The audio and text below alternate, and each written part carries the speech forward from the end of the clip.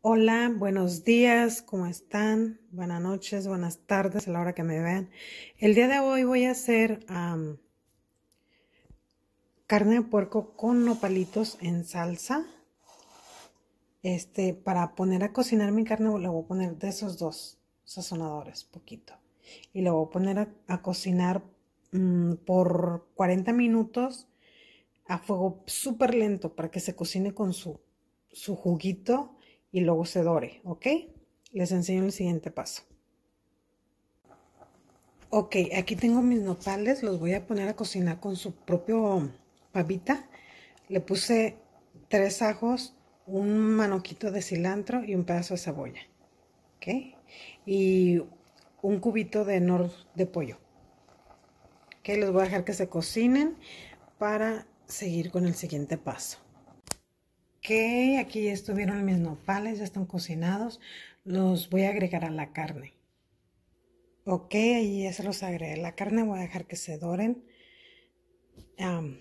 un momentito que se sazonen ahí. Se integren todos los sabores. Ok. Y le agregaré mi chile. Voy a poner ahorita a cocinar tomate, ah, cebolla y chile. Ahorita les enseño. Ok, ahí tengo seis tomates, un, pedazo de cebolla, tres ajos y tres chiles. Dos serranos y un jalapeño. Ok, los voy a poner a, hervir, que se cocinen, que queden bien cocinaditos para licuar. Ok, ahí ya tengo listo para echar mi chile, pero todavía no lo licuo. Aquí lo tengo, lo voy a dejar un poquito como estilo molcajete. Para agregárselo a mi carne con los nopalitos, ¿ok?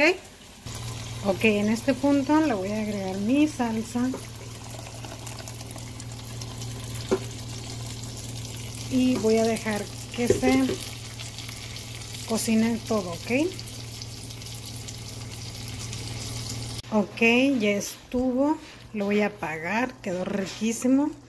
Lo voy a acompañar con un arroz. Voy a hacer el arroz y les muestro cómo lo sirvo, ¿ok?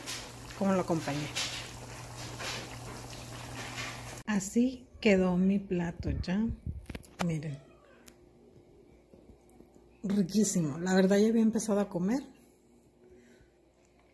Riquísimo. Prueben, ¿ok? Dios les bendiga. Cuídense. Hasta luego.